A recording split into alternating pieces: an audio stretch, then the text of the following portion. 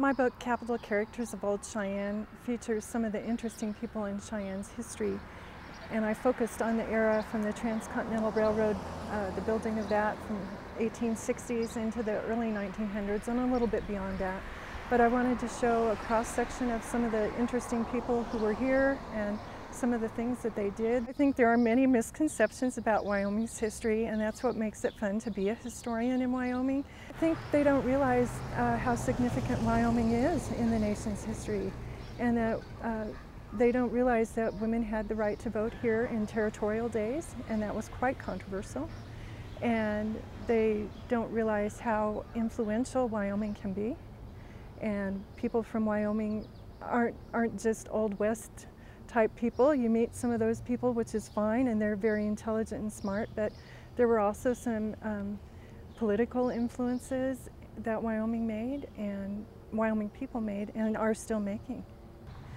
We're standing in front of the Wyoming State Capitol, which is an important building in the state's history, of course, but also it has a significance because Estelle Reel was the first woman elected to a state office in the nation. She became Wyoming's Superintendent of Public Instruction. This occurred in 1894. And even though it was only about four years after Wyoming, the equality state, became a state, uh, she felt that women should not hold the governorship, that women should be happy with the right to vote and equal pay. She was a proponent of that. But she also had another significance. In 1898, President William McKinley appointed her as the first female superintendent of Indian schools, and that was a very important position in that era. She wrote a textbook, a course of study for Indian schools, and she traveled about 65,000 miles during her first three years in office, and she traveled by buckboard, on horseback, not at all like the travel we consider today. So she was an amazing person that way. Also, she was kind of quirky and she loved to dress up. So when she attended President McKinley's inaugural, she wore a $1,000 Parisian gown and a $50 hat. She always loved fancy hats. And to contrast the amount of money that cost, her salary as Wyoming's Superintendent of Public Instruction was about $2,000. We're standing in front of the Wyoming Supreme Court building, it used to be the State Library building. It no longer is. It's significant in Wyoming's history, and of course, and it has an interesting person uh, involved with it. His name was Willis Van Devanter. He was an attorney, powerful attorney in Wyoming in the 1884-1897 era. He's significant in the state's history because he was also uh, the person, one of the people who defended the cattlemen in the Johnson County War incident of 1892. And he was a Supreme Court Justice for Wyoming. And later in 1910, he was appointed to the United States Supreme Court. And he was a justice there. He served from 1910 to 1932. And he was the first, and I think the only, Supreme Court Justice from the state of Wyoming.